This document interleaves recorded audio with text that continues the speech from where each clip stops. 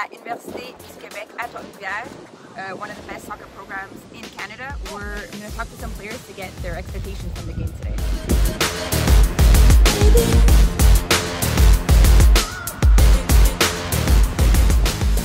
My name is Jesse Hospitales. I'm from Trinidad and Tobago.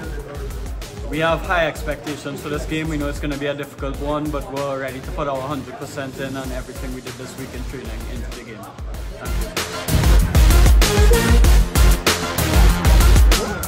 Is Sam. I'm a midfielder for US, and uh, today we're going to play a pretty tough team. But uh, I think we can come out with a good result today, so let's hope for the best.